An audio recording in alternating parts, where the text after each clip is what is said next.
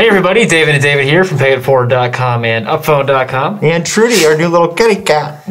And in this video, we're going to show you how to organize your home screen with iOS 14. A lot of new features here. Add new widgets to the home screen. App library. Offload apps is gone, or is it?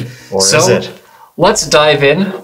I've got my iPhone here. As you can see right now, pretty pretty bland. Mm-hmm. But if I swipe left to right, your widgets are a lot more interesting now, a lot more engaging, and it's almost like an app preview now. It is, because it used to be that widgets were kind of this afterthought, but now, when you tap on it, it'll actually open the full-size app, and the real mind-blowing thing is what happens when you drag it to the home screen. Yes, so you can actually do. Let's uh, start by pressing and holding here. Pressing and holding here, there we go. And just tap edit home screen. So I've got that plus button at the upper left-hand corner of the screen. I can use this to add, to add widgets. Uh, so if I wanted to add a notes widget, uh, battery widget, so I can see.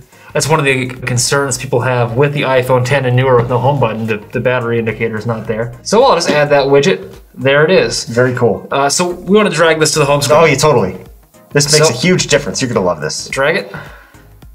Look at that. Boom. Let's drag the weather widget to the home screen too, or actually we could just add it a different way. Let's add it a different way because there are other options for you. So if I wanted to add the weather, you have the small square, you've got the wide rectangle, and the gigantic square. Yes. Uh, that's a little bit too much for me, but I do like the wide square layout. So I'm just gonna tap add widget. Yep. There it is. So you're always gonna have the weather in your home screen. No need to get any fancy app. Trudy loves that. Loves it. Okay. Uh, one other thing we want to talk about with widgets is stack. So if you just start dragging widgets on top of each other, now you've got a stack, swipe up and down to see them. You can also do a smart stack. And when you add this widget, you've got a whole bunch of stuff. Is there a way to remove something from the smart stack? Yes, so if you start over again, press and hold, you can remove a specific item from your smart stack just tap remove music. Right, or you could just remove the whole stack. Or you can just delete the whole stack so you don't have a whole bunch of widgets taken up all over the place. Yeah, really so, cool. Those are widgets. Uh, next thing I want to talk about is the new app library. If you're like me, you like having your apps organized. And I originally set up a whole bunch of folders and then I started downloading more apps and they didn't really have a place and all of a sudden I had a whole page of apps that were not in folders. I have tons of apps everywhere that is no longer an issue right. because of the app library. Apple is now intelligently putting your apps into specific folders. Right. I love the fact that you can search and that you can look through it alphabetically. Alphabetically.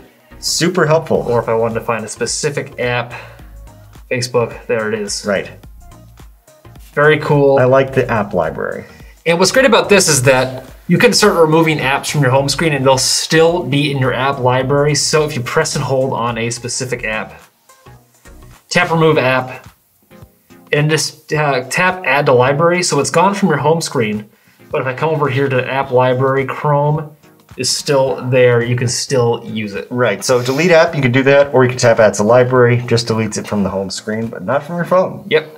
One last thing we want to talk about is offloading apps. Mm-hmm. That used to be an option when you press and held on an app icon. You could offload it, so it'd still be on your phone. It would save some data, but you would clear up most of the storage space. Right.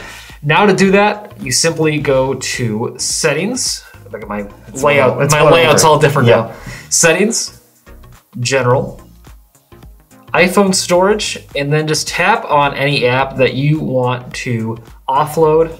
Tap offload app, offload, offload app. app. Yep. There you go. That'll still be on your home screen or in your app library. You'll just have to tap on it, then it would automatically re-download. Totally not necessary unless you're really running low on space. Yep. Mm-hmm. So that is how to organize the home screen with iOS 14. Thanks for watching this video. Give it a thumbs up if you enjoyed. Leave a comment down below with any other questions and don't forget to subscribe to this channel for more great iPhone tips.